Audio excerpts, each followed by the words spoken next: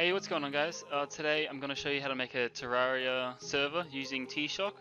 And T-Shock is basically, I wouldn't say a plugin, but I'd say something it runs off that helps it, that helps you run it better, like own it better, gives you a lot more control in your server, and that's pretty much it. So everyone usually uses T-Shock for their servers, so first thing obviously is you want to download T-Shock, so you can just Google T-Shock.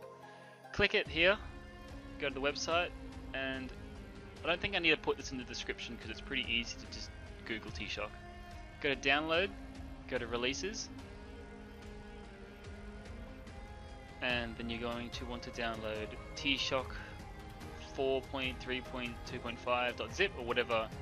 It depends when you're watching this, it might be something later, later version of it. But that's the one I have, so I'm going to download that one. And internet is revolting, so give it a sec.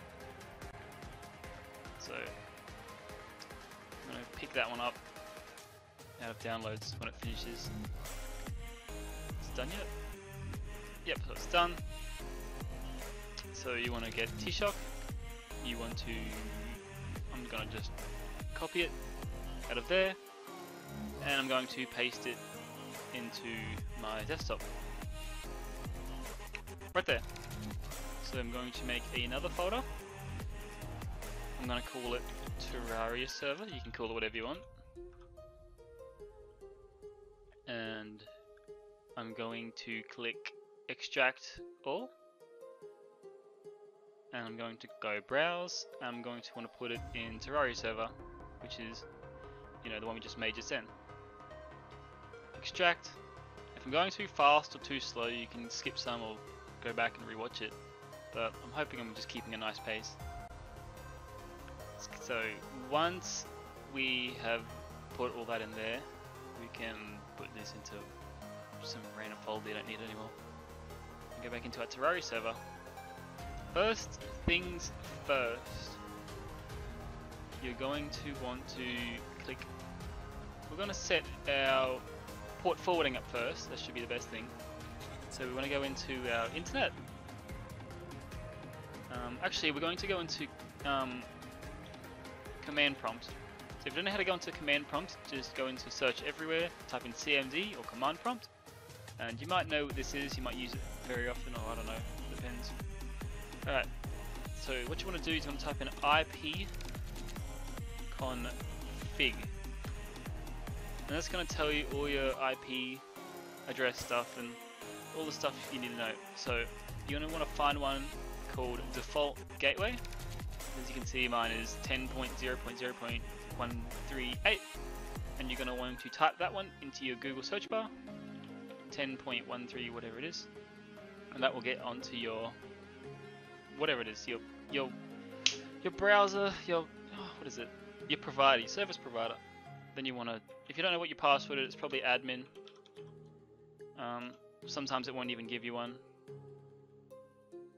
Um, you, your parents might know what it is okay so now we're into our default gateway we want to go into services um, everyone's uh, user interface like mine could be different. It could be with Telstra or I don't know the other ones in America or India or wherever you're watching from.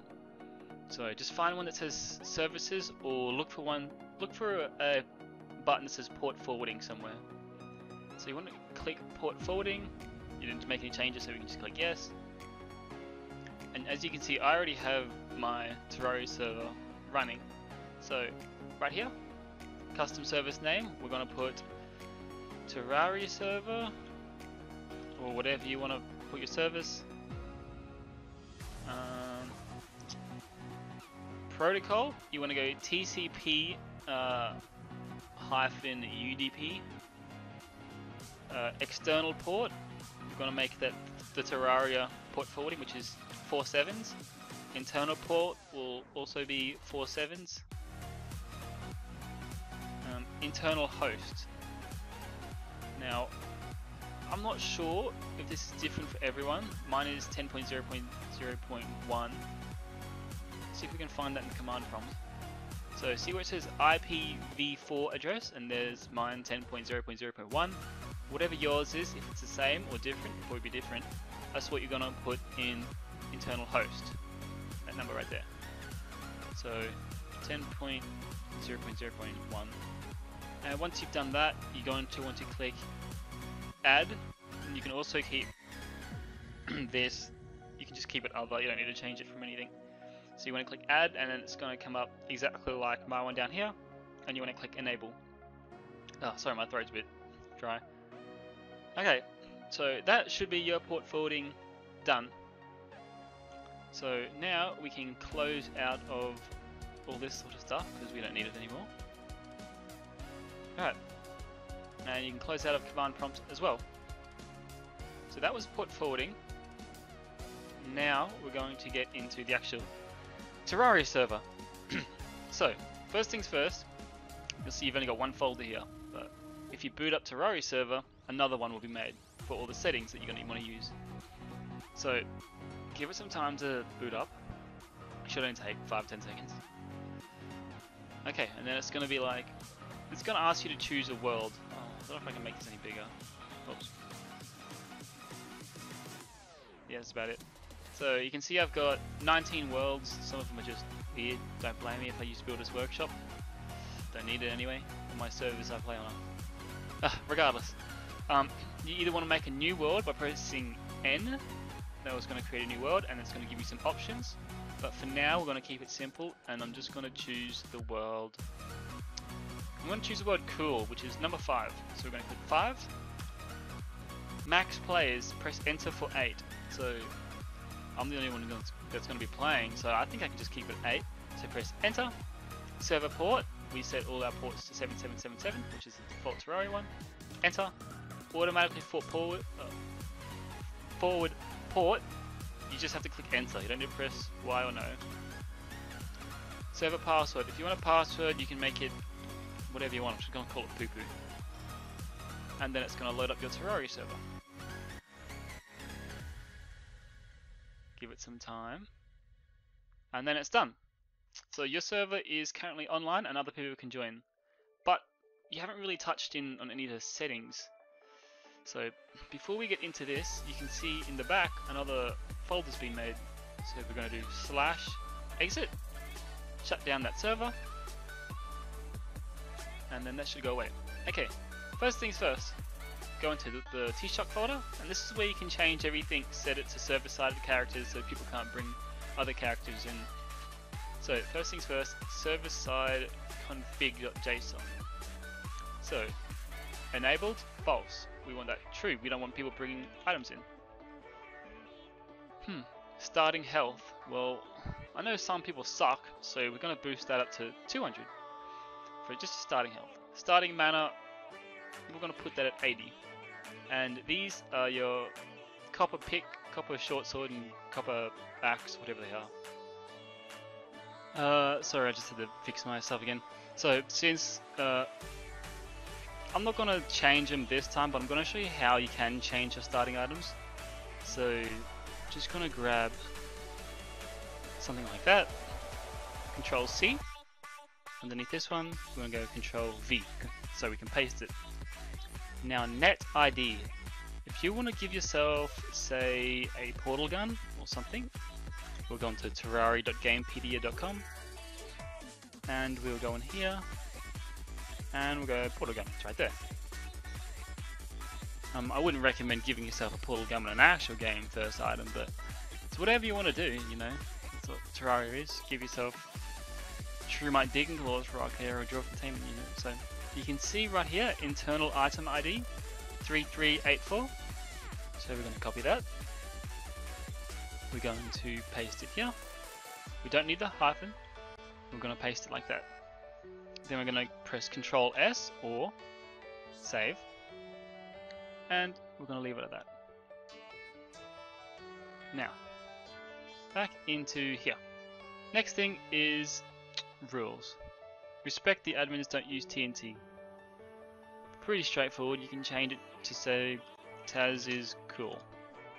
Whatever, that'll be work. Message of the day, that's what people get um, when they first join the game. Um, you can see it's got type help for a list of commands, um, That's red, green, blue with the two percents on either side. Percent map percent will show you the map name and percent players percent will show you the player's name. So if we type in something like the best Terraria player is then it's going to show you a list of the players. So we can go Control S, we'll save that.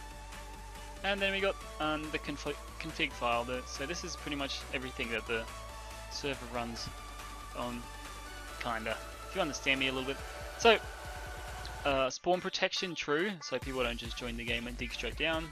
So your your spawn is safe from just loop killing yourself, pretty much.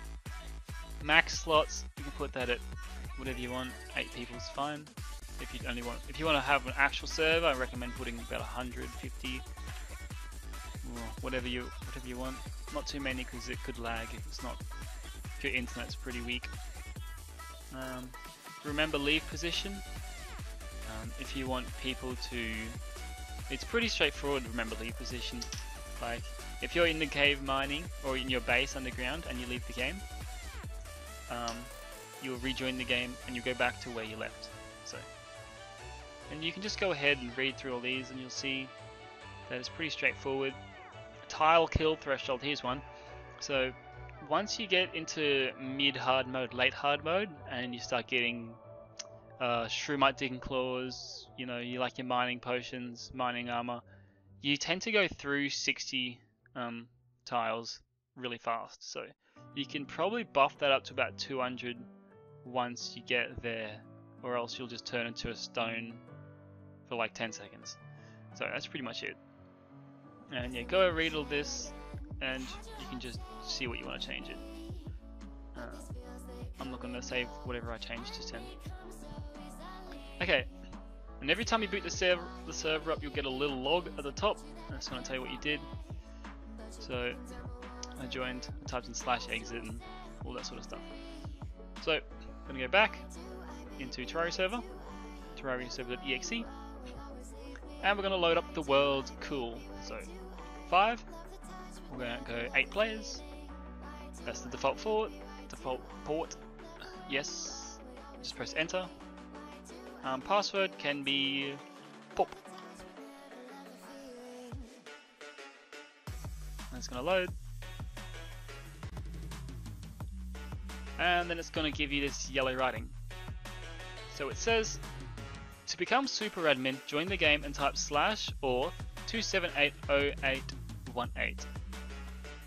And this is different every time uh, you create a new T-Shock folder, which I do quite often because I'm pretty bad with them. But if you want to make a new server, I recommend um, making a whole new folder as well, so you get a different auth code. So if you give it to other people, um, they don't have it for the next game.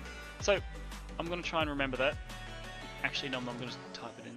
2780818. 2780818. 818. Yeah, that's about it, isn't it? Yeah, so I'm going to go Control C, save that one, and we're going to go into our Terraria server. Make that a bit of full screen, so go multiplayer, join via IP, and we'll give ourselves test.